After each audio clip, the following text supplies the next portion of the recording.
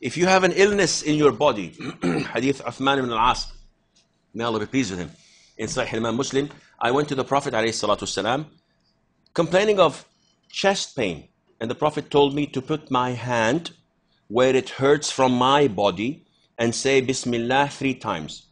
And then say seven times, أعوذ بعزة الله وقدرته من شر ما أجد وأحاذر. Memorize it. And he said, I did this, and Allah Azza wa Jal relieved me. Wallahi, I've said it so many times, I don't remember.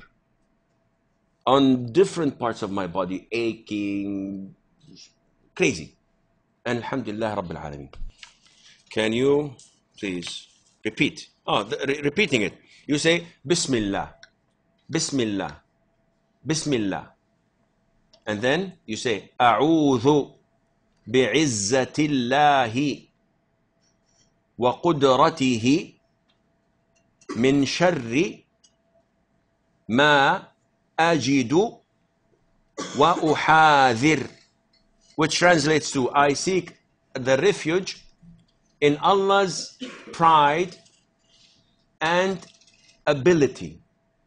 These are attributes of Allah, and you cannot seek uh, uh, the refuge of anything except in Allah and His attributes. أعوذ بعزة الله وقدرته. من شر, I seek refuge from the evil that I find or I'm afraid of. The evil of the things that I find, that means the illness, or what I'm afraid of. أعوذ بعزة الله وقدرته من شر ما أجد وأحاذر. It's narrated in Sahih Imam Muslim.